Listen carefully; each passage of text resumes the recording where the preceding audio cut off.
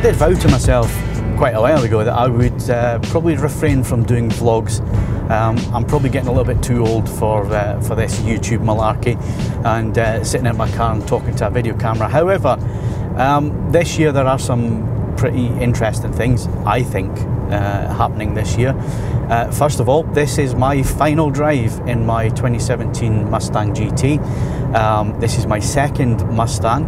The reason it's my last drive is that we are on our way to pick up my new Mustang.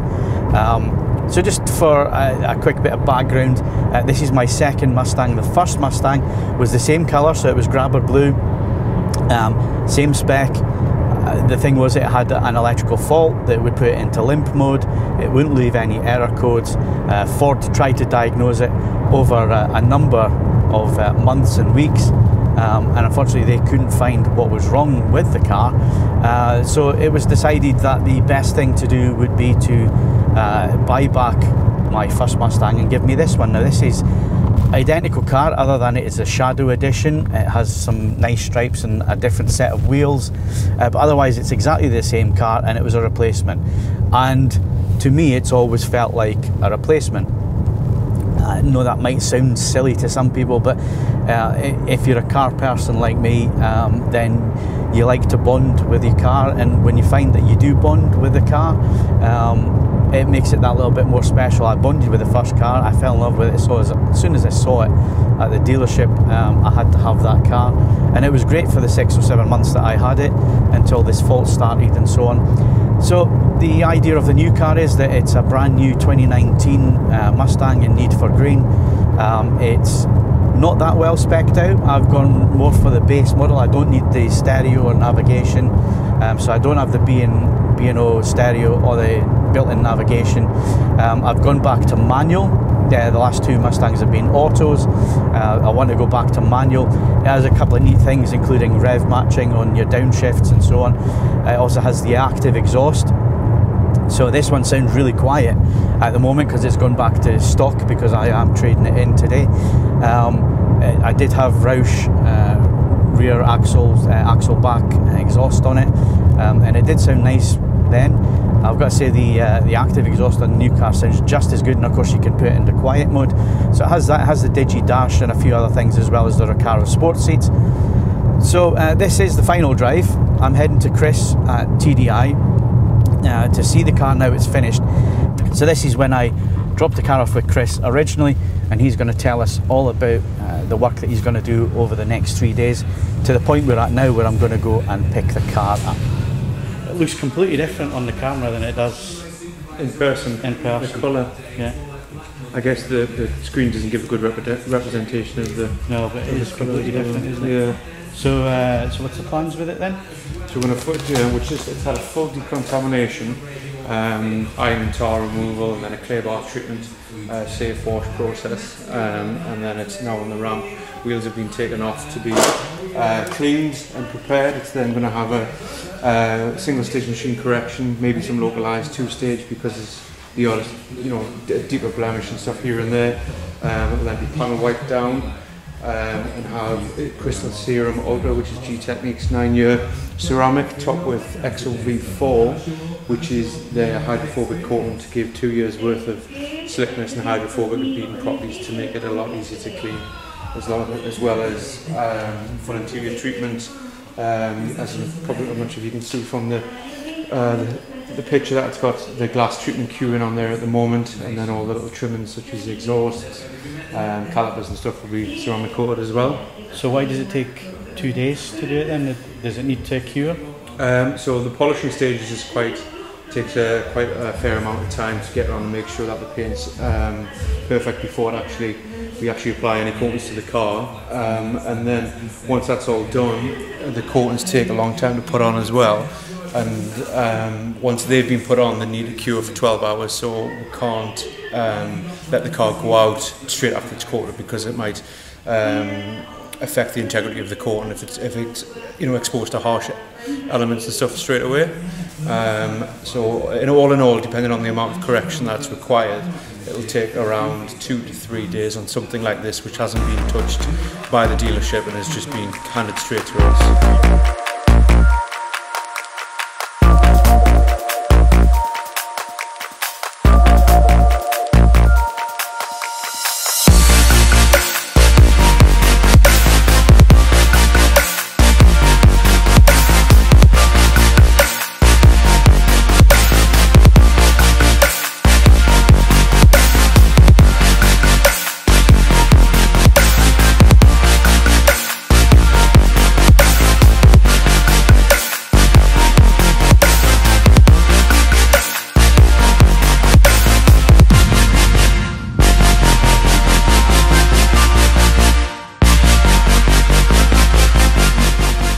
Um, so once we collected the car from uh, Ford, we brought it back and removed all the transportation um, protection. There wasn't a great deal on this, but they'll have um, bits of plastic and stuff to protect when the doors have been opened and stuff. Um, we then went through um, a multi-stage uh, decontamination and safe wash, wash process, um, which involved removing iron contamination that can build up when the car's been transported to the dealership, um, tar spots, um, anything that's from the factory, you know, uh, wax oil and stuff that's come from the doors or, you know, when it's been sprayed underneath can like, land on the paint. So once um, we done all that and then once that was completed, uh, the car was brought inside, um, put on the ramp um, and dried off um, with air dryers rather than being dried by hand to reduce any chance of inflicting you know swirl scratches and marring into the paintwork.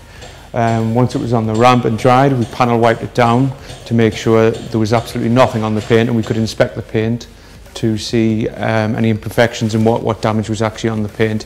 Um, and then once that was completed, um, the paintwork went through a two-stage correction process to remove any swirls, scratches, marring from the factory, you know, any, anything that, you know, once the sun hits it, you would see um, in the paintwork. Um, and once we completed that, uh, the paintwork was wiped down again um, with panel wipe to ensure that the, the, the scratches weren't being filled um, with oils. So, you know, what, basically what you were seeing on that panel is exactly what the finish is and it's not going to drop back and, you know, all of a sudden some marks appear that you didn't actually see.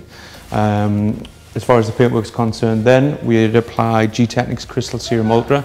It's their nine-year um, guarantee coating. Um, it's an ultra durable ceramic coating that um, creates another surface layer on top of the paintwork, um, protects it from future swirl and scratches, uh, bird etching, all that sort of, sort of stuff you can get out in the, out in the open. Um, once that had cured, we applied a EXO V4 layer, which is a hydrophobic super slick um, layer, which will last around two years on top of the crystal serum. Um, that will give you uh, great uh, dirt repellency and water repellency from the paintwork. As well as the paintwork being protected, the, um, the, once the car was on the ramp, the wheels were removed and they were given a full clean polish. Um, there was a lot of um, residue of wax and stuff from undersealing the vehicle in the factory, so that took quite a bit of, of removing. Um, they were all cleaned up and coated with a, a ceramic coating as well to help protect them in the future. Um, the, the calipers were also uh, coated to help keep them clean for future cleaning. Um, glass was given a glass treatment, G, uh, G-Technics G1 Clear Vision glass treatment, which um, essentially improves visibility um, when you're driving in the rain and, and creates a water repellent windscreen and, and windows essentially. Um, the interior was also given a, a full treatment. Leather was uh, cleaned and protected with Gtechniq's L1. Um, all the fabric was coated with uh, Gtechniq's I1 smart fabric, uh, as, long, as well as the door cards and dashboard, steering wheel and that sort of thing. Um, all the trimmings such as your, you know, your, your headlights, the exhaust tips and everything else were also, you know, cleaned, polished and treated with a, a ceramic where possible. Uh, somebody will, should get this done because you know, you, it is probably the second biggest investment uh, anybody makes after their house.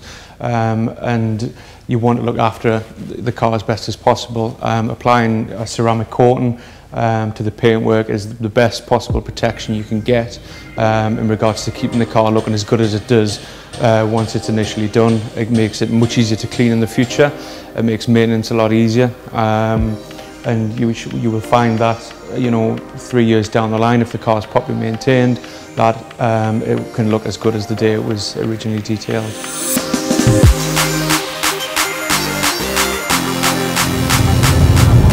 So the car is now heading down to the dealers. We're going to go and do the handover.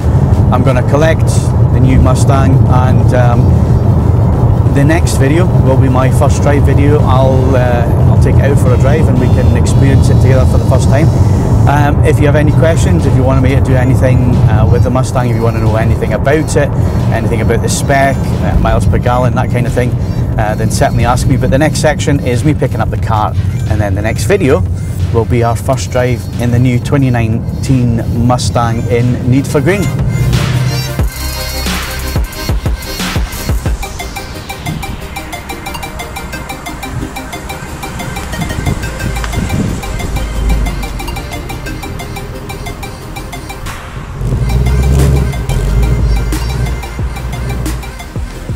It's bye bye old car. It's uh, it was a replacement, but it'll be missed. Bye bye. Bye bye.